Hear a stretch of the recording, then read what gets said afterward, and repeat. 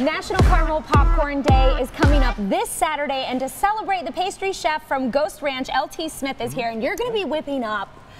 I've never heard of this before. Burnt banana, Burnt banana, dessert. yes, yes. This is what we have right here for us here. Okay, it's So- not going to be really burnt, right? It's still No, going to taste delicious. Just, just a little char and a little caramelization on the on the brulee with it.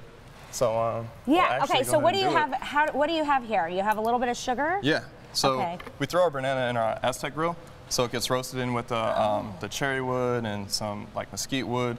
To really Uh, bring in some flavors. Yeah, we roast it in there, get the smokiness in there, and then we go ahead and Oh God. char this, brulee this this up here. Um, and then when we bring in the, the garnishes, we bring in uh, this delicious crunchy caramel popcorn, um, obviously with the, the day coming up here, um, some almond milk crumb, some spicy corn, and corn gelato. Okay, that sounds amazing. And per usual, I'll be testing it in just a second. But wow, so many different flavors coming together, and I bet it's just going to tantalize the taste buds. Um, how many calories did you consume trying to perfect this dish? A lot. Was it a lot? A, a lot of a lot of R and D, a lot of uh, making, remaking, tasting, but you know we, we have a really fit and active um, group and community Yeah. um, over there in Tempe. Um, so you know. And where are you we- located while you dress out. this up? Where are you guys located? We're in um, the corner of Warner and Rural, Okay. and um, yeah, All right. Just and then what's on the bottom here? that's just a little bit of dark caramel. Okay.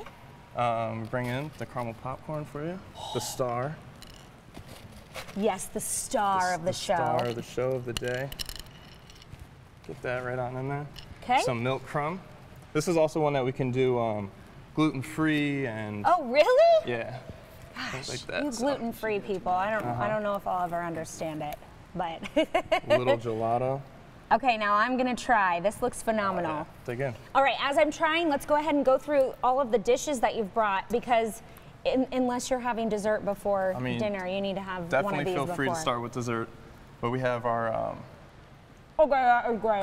Good job. there you go. Okay, go. This is just one of our light fresh salads.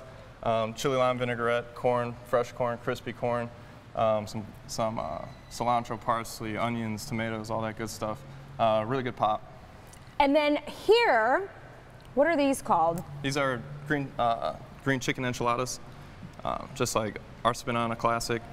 Uh, they're really delicious. Okay, and then this is more of like I gotta dig into Yeah, this because there.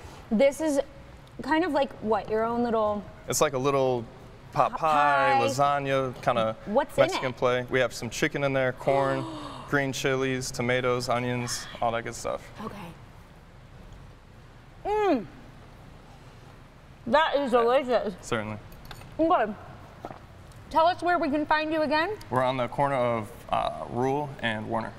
I need to not take such big bites. I'm so sorry for that. Okay, also, you guys have great happy hour specials, um, and you're open Monday through Friday for lunch, Mm-hmm. 11 a.m. to 3, and then you have uh, happy hour every day. Yeah, happy hour every day, small little lunch menu, like bring the business crowd in and come get a quick bite, get back to work all energized. And then we also have uh, brunch on the weekends. Great, thank Yeah. you so much, LT. Sure. I really for having me. appreciate it. You guys, this was phenomenal. Uh, get this maybe before your actual.